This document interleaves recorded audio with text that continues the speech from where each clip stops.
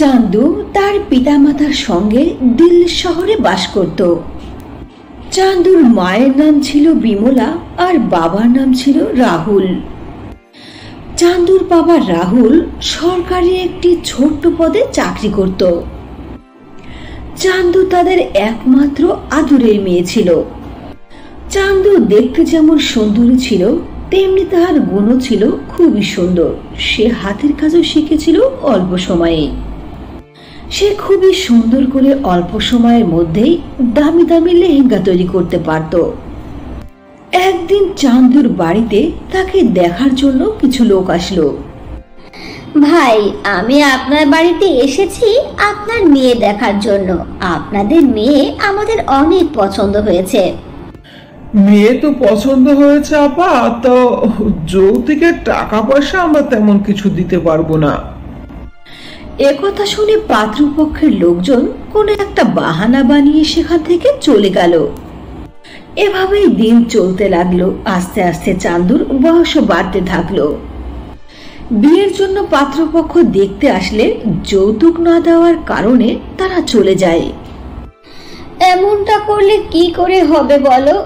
দিন দিন মেয়ের বয়স বাড়ছে। বিয়ে তো যে জায়গায় হোক দিতেই হবে তাই না? যৌতুক না দিলে মেয়েকে বিয়ে দেব কি করে?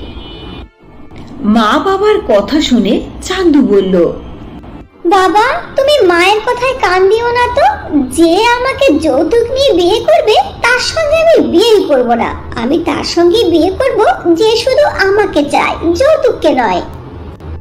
দেখ মা, এটা হলো এই জামানার রীতিনীতি। যদি এটা না পালন করা হয়, তাহলে কে তোকে বিয়ে করবে? তুই যখন এতই জেদ করে বসছিস, তখন আমিও জেদ করলাম। দেখি তোকে যৌতুক ছাড়া কে বিয়ে করে? একদিন বিমলা তার বান্ধবী আশার বাড়িতে বেড়াতে গেল। সেখানে গিয়ে বিমলা আশার ছেলে রোহিতকে দেখতে পেল। আশার ছেলে রোহিত দেখতে বেশি একটা সুন্দর ছিল না, কিন্তু সে লেখাপড়ায় ছিল অনেক ভালো। সে লেখাপড়া শেষ করে একটি প্রাইভেট কোম্পানিতে চাকরিও পেয়েছিল। বিমলা রোহিতকে দেখার পরে আশাকে বলল, আশা, তুমি যদি কিছু মনে না করো, তাহলে আমি তোমাকে একটি কথা বলতে চাই। আরে দোষ তুই কি বলিস? যা বলার খুলে বল। মুখের মধ্যে কথা কেন আটকে রাখিস? তুই আমার সেই কত আগে দোস্ত না? তোর কিসে লজ্জা? বলে ফেল। আশা, তুই আমার মেয়ে চান্দুকে তুই চিনিস, তাই না? আরে বিমলা, এটা কেমন কথা? তোর মেয়ে চান্দুকে আমি চিনব না মানে? আচ্ছা তোর যা বলার একেবারে খুলে বলতো আগে কেন এসব বোঝাচ্ছিস?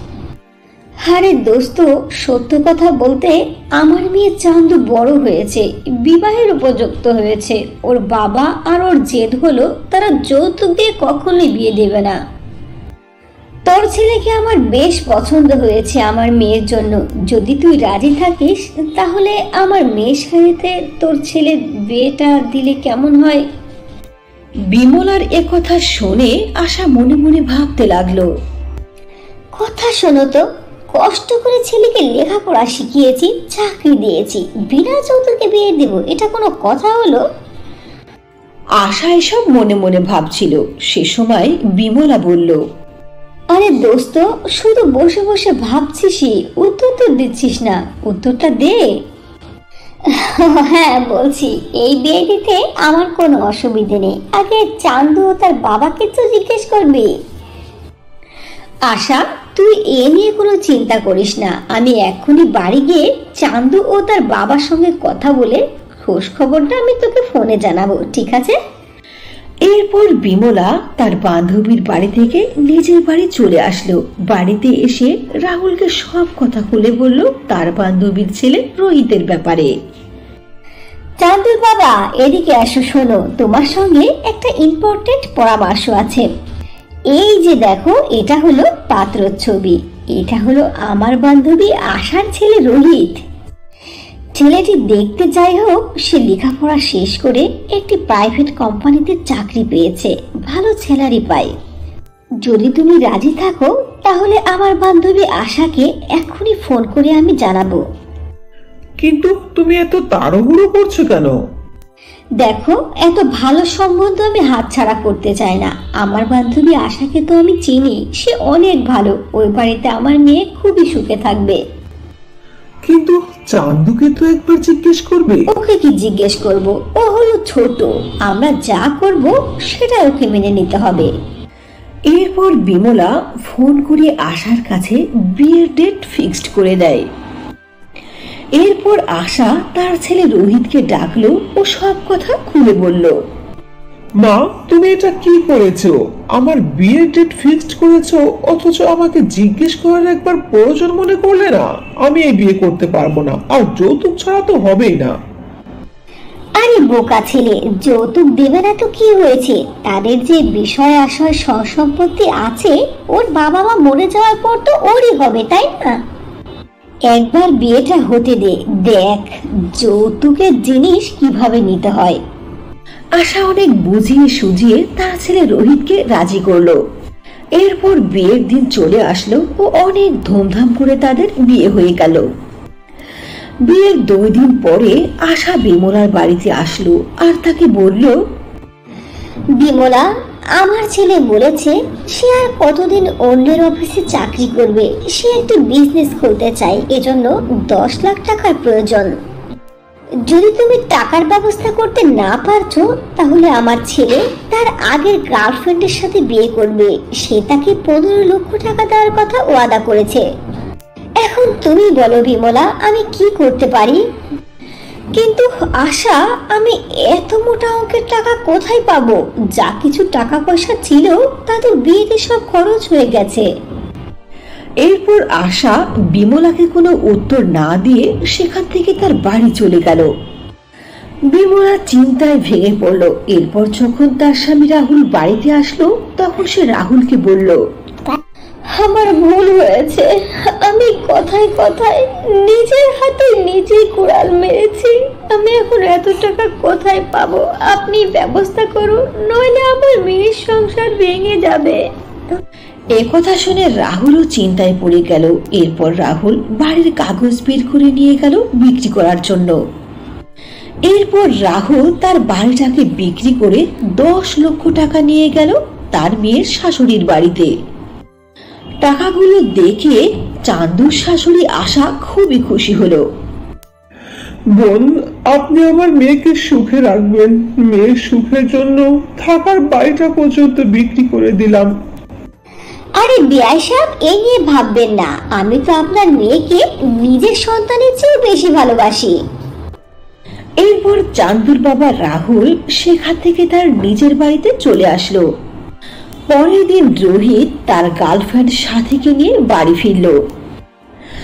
চান্দু তার স্বামীর সঙ্গে অপরিচিত একটি মেয়েকে দেখে বলল রোহিত এই মেয়েটিকে কাকে নিয়ে এসেছ বাড়িতে তুমি? আর বেডরুমে ওকে ঢুকিয়েছো? এই ফকিন্নির বাচ্চা বেশি কথা বলবি না। সাথে তোর মতো ফকিরের বাচ্চা নয়। ও হলো ধনী দুলালি। ও আমার অনেকদিন আগের গার্লফ্রেন্ড তোর আর কোনো প্রয়োজন নেই। তুই বাড়ি থেকে বের হয়ে যা। আমি একেই বিয়ে করব।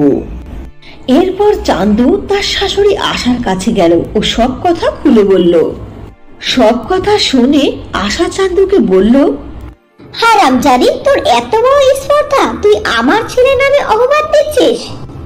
এ কথা বলে আশা ও রোহিত দুইজন মিলে চান্দুকে অনেক মারধর করে আর বলে দুই দিনের মধ্যে যদি আরও দশ লক্ষ টাকা না দিতে পারিস তাহলে এই সাথী হবে আমার বউ। না না এমনটা করবেন না। আমার বাবা তো যা কিছু ছিল সব বিক্রি করে আপনাদেরকে দিয়েছে। আর টাকা কোথায় পাবে? কিন্তু আশা ও রোহিত তার কোনো কথাই শুনল না। তাকে ঘাড় ধাক্কা দিয়ে বাড়ি থেকে বের করে দিল। বেটা, তুই ভালো একটা চাল জেনেছিস। সে ওর ঘর সামলাতে আবারও যেখান থেকে দশ লাখ টাকা নিয়ে আসবে। এদিকে চান্দু তার বাড়িতে না গিয়ে কান্না করতে করতে মনের দুঃখে একটি নদীর পাড়ে গিয়ে বসল। এখন আমি কি করব? এই পুরো মুখ আমি কাকে দেখাবো? আমি বাবার কাছে যদি যাই, বাবা কত কষ্ট পাবে। চাঁদু এভাবে কান্না করে যাচ্ছিল। হঠাৎ করে তার সামনে একটি খুবই সুন্দর পরি প্রকট হলো আর তাকে বলল চান্দু আমি তোমার সব দুঃখের কথা শুনে ফেলেছি। আমি তোমাকে সাহায্য করতে চাই। তুমি অনেক ভালো মেয়ে। এ কথা বলে পরি তার জাদুর লাঠি ঘোরালো ও সেখানে খুবই সুন্দর একটি লেহেঙ্গা প্রকট করল। পরি এটা কি? এটা তো দেখছি লেহেঙ্গা। এই লেহেঙ্গা আমাকে কি করে সাহায্য করবে? শোনো চান্দু, এটা কোনো সাধারণ লেহেঙ্গা নয়, এটা হলো জাদুর লেহেঙ্গা। এই লেহেঙ্গা তোমার মনের সকল আশা পূর্ণ করবে। এই লেহেঙ্গার কাছে তুমি যা চাইবে, তুমি তাই পাইবে। এরপর পরি সেখান থেকে গায়েব হয়ে গেল। এরপর চান্দু ওই লেহেঙ্গাটিকে নিয়ে তার বাবার বাড়ি চলে আসলো। এরপর চান্দু তার মা বাবাকে সব খুলে বলল সে এটাও খুলে বলল যে পরি তাকে জাদুর লেহেঙ্গা দিয়েছে। এরপর চান্দু জাদুর লেহেঙ্গার কাছ থেকে খুবই সুন্দর একটি সেলাই মেশিন চাইলো। সঙ্গে সঙ্গে লেহেঙ্গা সেখানে একটি সেলাই মেশিন প্রকট করল আর বলল চান্দু এটা কোনো সাধারণ সেলাই মেশিন নয়, এটা হলো জাদুর সেলাই মেশিন। তুমি সেলাই মেশিনে কাপড় রাখার সঙ্গে সঙ্গে সেটা তৈরি হয়ে যাবে। এরপর চান্দু সেলাই মেশিনে কাপড় সেলাই করার ব্যবসা শুরু করল। আস্তে আস্তে চান্দুর সেলাইয়ের চর্চা সমস্ত এলাকার মধ্যে ছড়িয়ে পড়ল। শুধু তার এলাকাতে নয়, আশেপাশের অন্যান্য এলাকা থেকেও তার কাছে অর্ডার আসতে শুরু করল। আস্তে আস্তে চান্দু অনেক ধনী হয়ে গেল। যখন একথা আশা ও তার ছেলে রোহিত জানতে পারল, তখন তারা হিংসায় চলে গেল। ভেবেছিলাম সংসার বাঁচাতে যে করে হোক টাকা নিয়ে ফিরে আসবে, কিন্তু ও এখন নিজেই ব্যবসা খুলেছে। ও আসলে খুব চালাক। রোহিত, চল তো বাবা, গিয়ে দেখি কিসের ব্যবসা শুরু করেছে।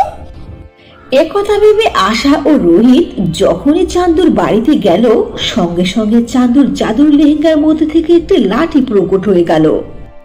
সেই লাঠি আশা ও রোহিতকে পেটাতে শুরু করল। আরে বাবা রে মরে গেলাম রে হাই রে কেউ তো বাঁচাও মরে গেলাম। মা হলো বেশি লোভ করা আসলে আমাদের ঠিক হয়নি মা। আমাদের না আসায় ভালো ছিল ও চান্দু বৌমা আমার আমরা আর লোভ করব না। তুমি আমাদেরকে বাঁচিয়ে তোলো মা আমরা মরে যাব। এরপর চান্দু জাদুর লাঠিকে থামতে বলল। সঙ্গে সঙ্গে জাদুর লাঠি থেমে গেল। মা আমাকে তুমি ক্ষমা করে দাও। আর কোনোদিন কোনো কিছু লোভ করব না কিছু চাইব না। তোমাকে নিজের মেয়ের চেয়েও বেশি ভালোবাসবো। চলো আমাদের সঙ্গে বাড়ি চলো। চান্দু আসলে আমার ভুল হয়ে গেছে। চলো বাড়ি চলো। এরপর চান্দু তার স্বামী ও শাশুড়ির সঙ্গে শ্বশুর বাড়িতে চলে গেল ও সুখে শান্তিতে জীবন কাটাতে লাগল।